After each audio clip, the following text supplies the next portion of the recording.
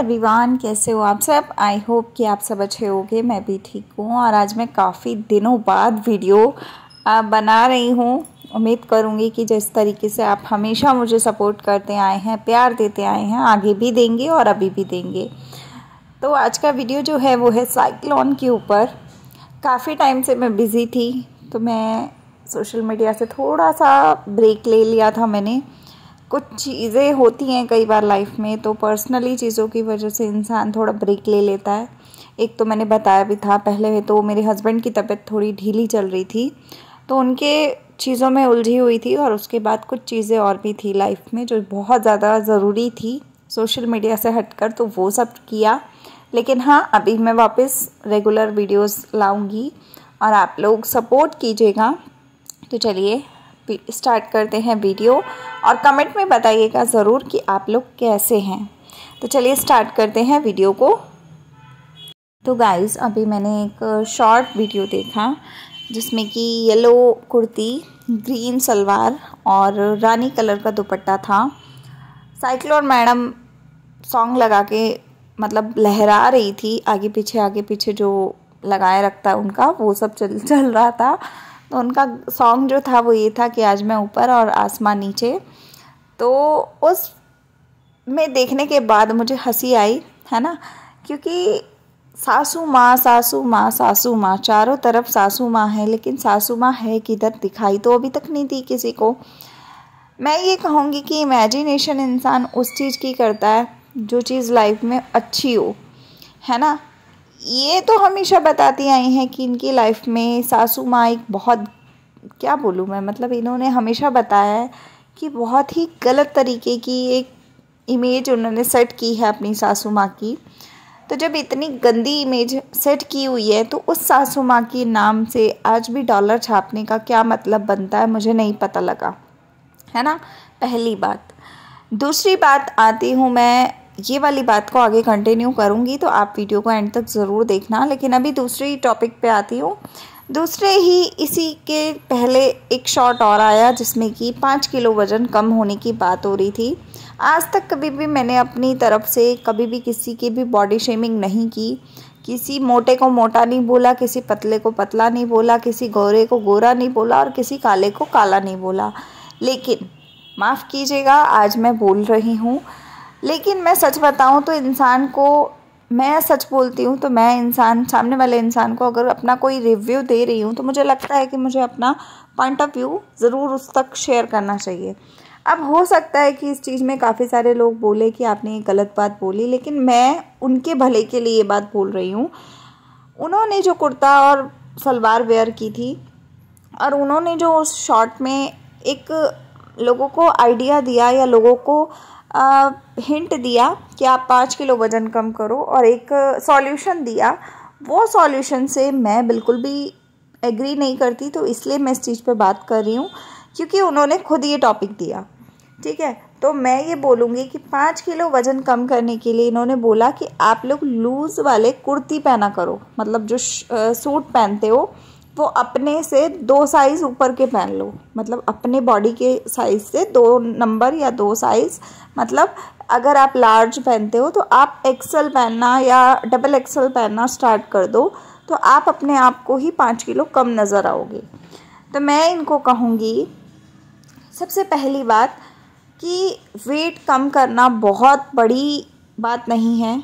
अगर आप चाहो आप अपनी अप, अपने बॉडी पे कंट्रोल करो अपनी ज़ुबान पे कंट्रोल करो ना तो आप पाँच क्या आप पंद्रह किलो भी कम कर लोगे बहुत आसानी से। काफ़ी सारे लोग हैं यूट्यूब पे ही हैं। बहुत से लोगों ने ऐसी चीज़ें की भी हैं। बहुत सारे एग्ज़ाम्पल हैं आप लोग देख सकते हो उनका। यहाँ तक कि अभी निशा लांबा को ही देख लो कितनी मोटी थी।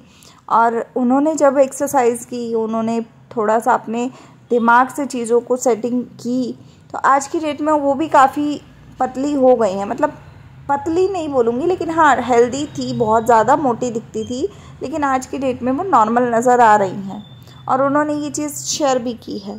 तो अगर आपको उनको फॉलो नहीं करना, बहुत सारे तमाम तरह के लोग हैं जो डाइट से रिलेटेड चीज़ें बताते हैं, या आप नॉर्मली डॉक्टर से भी कंसल्ट करोगे डाइटिशियन से, आपको बहुत सी चीज़ें मिलेंगी वहाँ पर, है ना?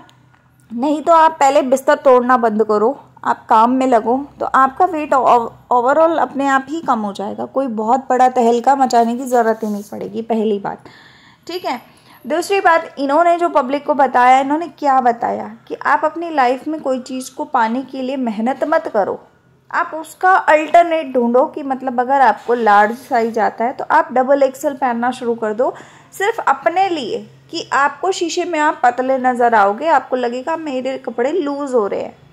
लेकिन ये बेवकूफ़ तो आप अपने को बना रहे हो, फिर आप अपने ऊपर कंट्रोल नहीं कर रहे हो।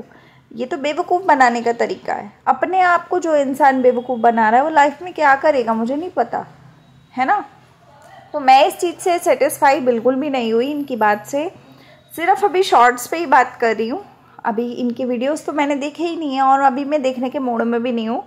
आज की रात तो मैं ऐसे ही निकालूँगी और ये वीडियो शायद सुबह ही मिलेगा आपको तो मिल जाएगा आराम से। और मैं ये इसके बाद ही देखूँगी, जो भी देखूँगी। लेकिन मैं आपको सिर्फ़ इतना कहूँगी कि अपने बॉडी के लिए अगर आप सगे नहीं हो तो आप किसी दूसरे के लिए भी सगे नहीं हो सकते। सबसे पहले अपना शरीर है। अगर आपका शरीर आपको लग रहा है कि भारी हो रहा है तो आपको कम करना चाहिए। कोई बहुत बड़ी बात नहीं है ये वाली।